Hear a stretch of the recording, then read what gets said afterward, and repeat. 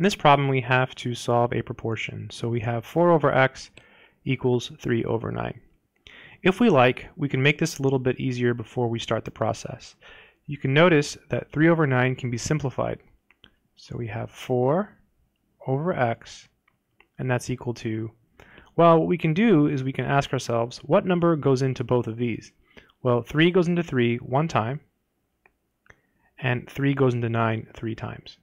So we can reduce it like that. And now we can use the method of cross multiplication.